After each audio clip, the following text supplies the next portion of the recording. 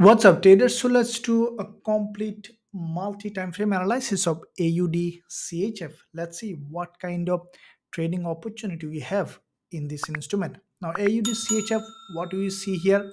This is a reversal pattern. This is four hour time frame, and we see a head and shoulder has been created with a double doji at neckline. Now before I explain where we can enter this um, a trade in this instrument, let's see a complete multi-time frame analysis in this instrument. First of all, look at the monthly time frame. Now, before I begin the full analysis, make sure you smash the like button and also don't forget to drop a comment below.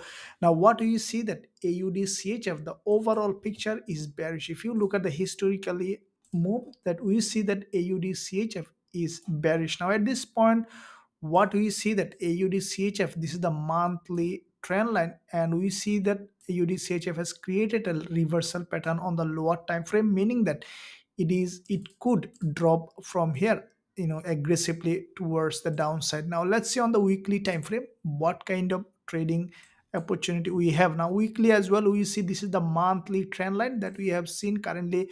Weekly price action just being rejected from this zone and we see that sellers now pushing a lot of placing a lot of sell order and where we can expect this price to move. As you can see there are there is a bearish engulfer here and we can expect in the first move to AUD CHF come to this level at least. And let's see we saw that there was a big move to the upside and let's see a Fibonacci level for this one where at least this instrument should come at least to 38.2 to 50 percent Fibonacci which just I have mentioned here this level. And we can expect AUD CHF to drop to this level. Now let's see on the daily time frame how the price action is formed. Now daily as well we saw back to back two dojis with a lower high uh, at the top and we see the price is now dropping. Now let's see on the four hour time frame what kind of price action it is creating.